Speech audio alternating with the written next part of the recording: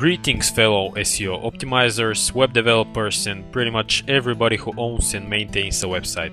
I want to present to your attention the ultimate site crawling software for Macintosh operating system, the pearl among our SEO products, the SEOSpyder. SEO Spider is a small and neat application which works on the same principle as the search engine crawlers. It goes to your site and follows every single link to its final destination.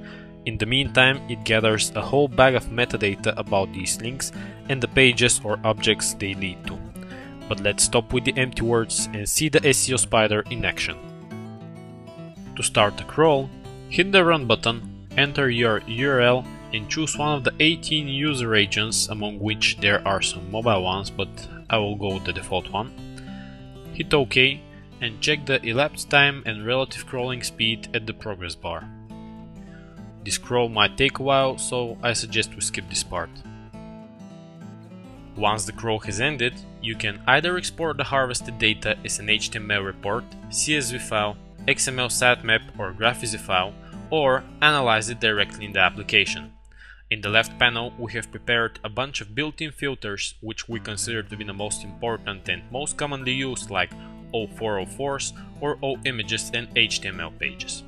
Here, you can also find the most outstanding feature of the SEOSpyder, which are the custom filters, but I'm not going to show them now, there will be a special video tutorial about them. Once a filter like the HTML is selected, all the results that answer to this filter are displayed in the up window. There you can find 36 unique characteristics about every link varying from status code and content type to title, meta description, publisher, and even the open graph elements. The interface is quite flexible, so you can reorder any of the columns, you can choose which of them to be displayed or not, and you can also shrink or expand your view with the view buttons. If you want to study any of the links further, select the link and go to the bottom window. There, in the General tab, you find the very same 36 characteristics listed vertically.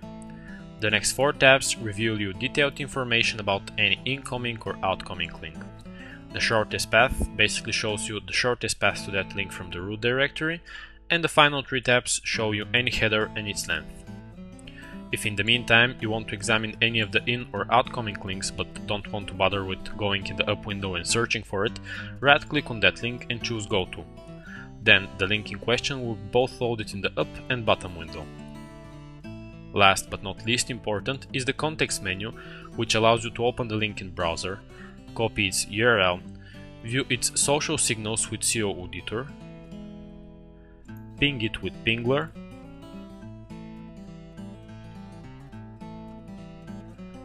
validate it with W3 Validator, check its loading speed with 4 different web page speed testers, view it in Internet Archive, or see how it looks on mobile devices with responsinator.com.